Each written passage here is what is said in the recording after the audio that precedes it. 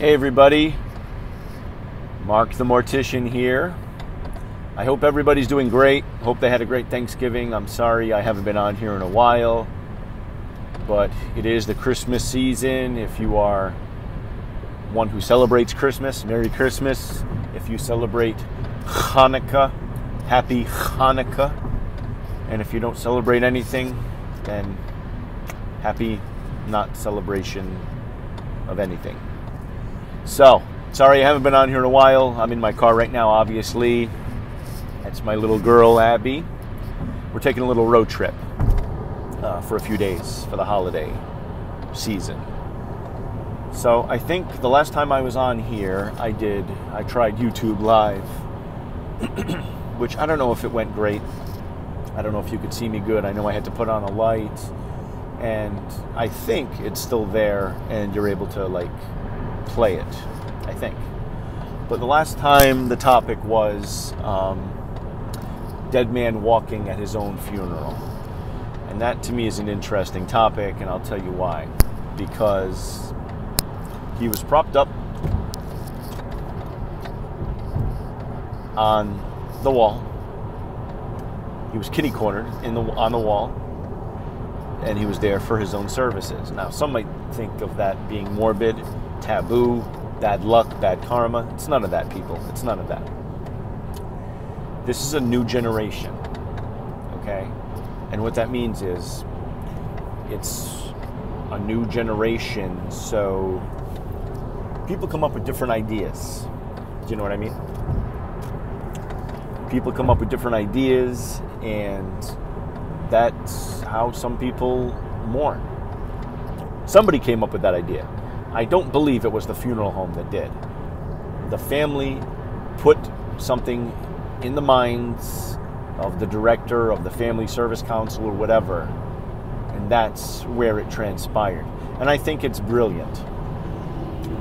You had one person on his motorcycle, two people on their motorcycle, one person um, at a table, sitting at a table. I think it's amazing. I really do and you know how I feel about that. Being in the business, I would love to embalm a body and set it up on a motorcycle, on a bicycle, on on a couch, at a table. I'd love to set somebody up at a table where, uh, hold on, I just got to turn into this lane here. Sorry, a lot of traffic and bad weather.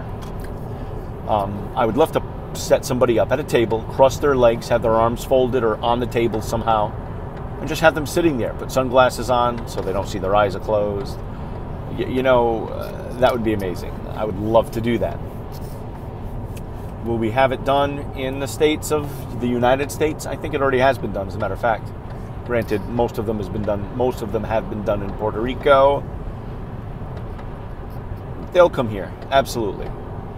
That's a trend now. It's an existing trend that somebody started and it will manif- manifest itself in the states. You watch. Oops.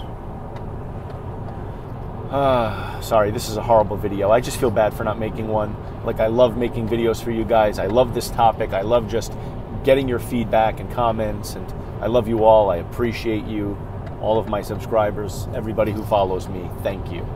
I wouldn't be doing this without you. Another topic of discussion, really quick. I've touched on this a few times, and that's euthanasia. I recently saw a video where this Canadian woman who was suffering, I don't know what she was suffering from, she made a video about how she was going to Switzerland. All the paperwork was signed for, um, the funds were, you know, paid for, everything was taken care of for this woman's euthanasia. The document on YouTube that she made was a video of her basically saying how she felt and she was dictating a letter she was writing for the Canadian government saying how they should implement this law that people should be able to be euthanized. And I think it's, again, as you know, if you've been following me, I think it's an amazing concept if you're sick, terminally ill, you know, you meet the necessary requirements, the necessary qualifications, there should be no issue with that. You know what I mean? God forbid if you're 25 years old and you're terminally ill and you don't want to suffer, you should have that right. You're an adult. As a child, if you're terminally ill, and you tell your parents, hey, I'm suffering, mommy, is there any way out? And the parents come together and say, this is what we want, it should be legalized. It should be legalized. As long as you meet the necessary requirements. So, with that being said, you know, if it's a family member and I'm seeing them suffer, God forbid, would I be able to do it? I have no idea. I'd want, I'd be like, I'd want to keep reaching for that hope. Like, okay, something's going to happen. Something's good, good. Something good is going to happen here. A miracle's going to happen. There's going to be a change. There's going to be a cure.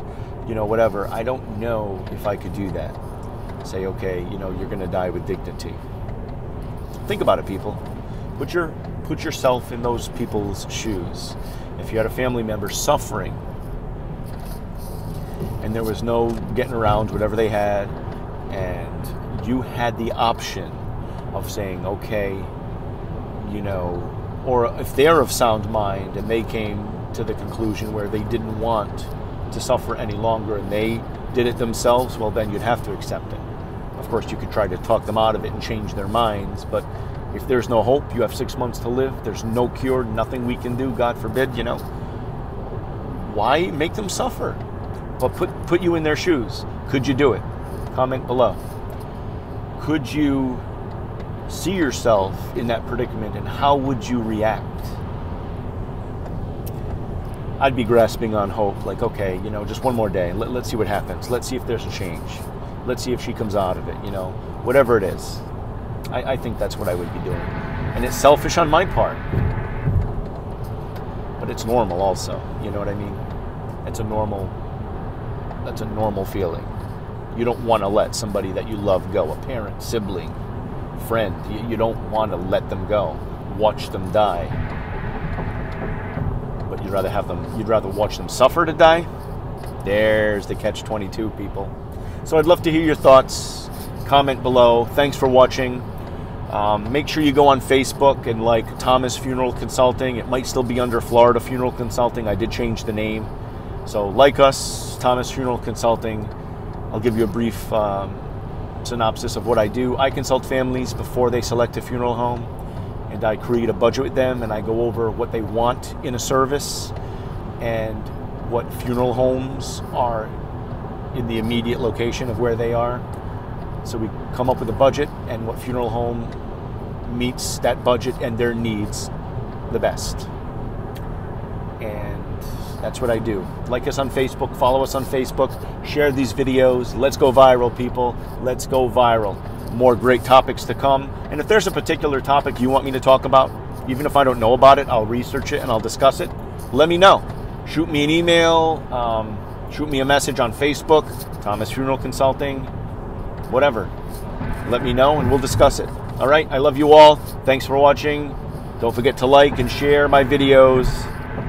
And I'll be on here before Christmas and Hanukkah.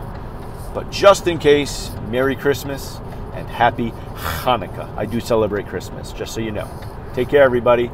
Bye bye.